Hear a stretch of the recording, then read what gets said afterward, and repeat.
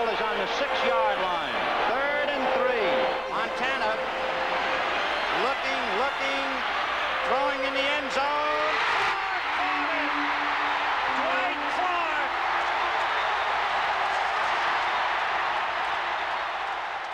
Blessed and humbled by it all.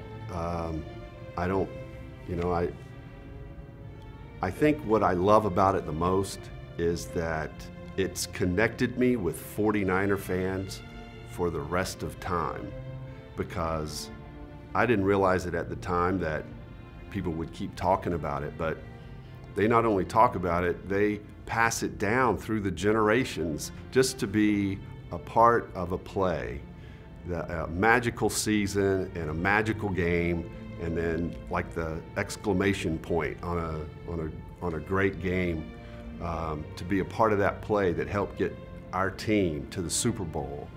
Um, yeah, blessed, humbled, uh, very thankful just to, uh, to be able to be in the 49ers memories forever.